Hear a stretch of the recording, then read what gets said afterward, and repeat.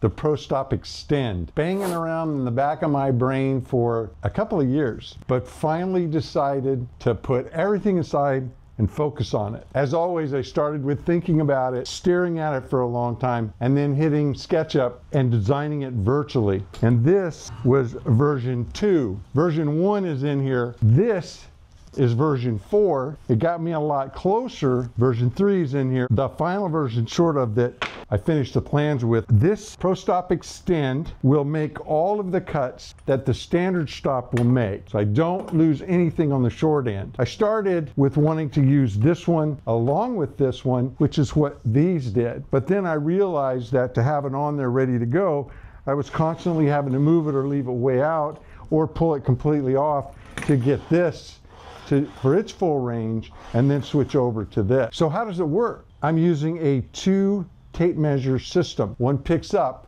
where the other one drops off. I use the cursor in this cursor window to line up where I want my cut exactly where the cursor on the standard stop goes. And all I need to do to make sure that this stop will cut where I want it is to line up this cursor with this cursor. I don't even need to look. I just slide it over, Make sure that it's flush, lock it down. Once that's lined up, I can move that cursor in and cover everything that this stop will do. Now I can just move this to whatever dimension I want. But how do I make this go beyond the end? That's where the second tape comes in. I set this on 50, lock it down, the cursor right on it, and if I left this flush,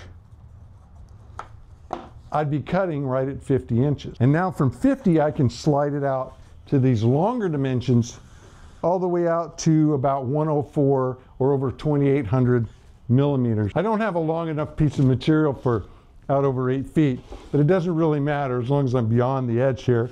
We'll pull this into, let's switch over to metric 1600 millimeters.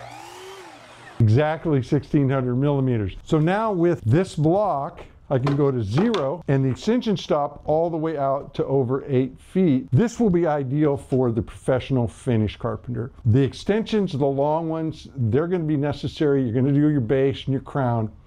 But for everything else, when you're hanging casing doors, casing out windows, when you're trimming out cabinets, all of those things will work ideal for this because you'll get that repeatability, that accuracy you need, but you get to stay on your wheels. So whether you're on a little job and you just need to tweak it a little bit, or you're on a big job and you need to move it closer to this work, do that work over there, and then move it over closer to there to reduce your steps, which I think is the most important thing about the smart wood shop. Also, if you are a weekend warrior, a do-it-yourself, or somebody that just likes to hobby with wood, and you're working in a small space and you're parking your car in there, setting up those long extensions a lot of times won't work for you, but you need that little bit extra. Plans show you how to build this exact ProStop Extend. But when I was working it out, working the bugs out, and I came up with the final version, I did it shorter because it really didn't matter how long it was. As long as I got everything working, then making it as long as I needed was just extending the piece. But as I was working with this, and I had all the hardware on it and the stop on it, I found this to be really handy. So I could see people that maybe they just don't find that over eight feet is ever going to be a thing, but just a little bit more. Also, I built it right hand. I'm only using one. But if you want to have a left because you happen to work that way, take the plans and just mirror it. Or if you want to have two, one on each side, or if you want a shorter one, just make it shorter.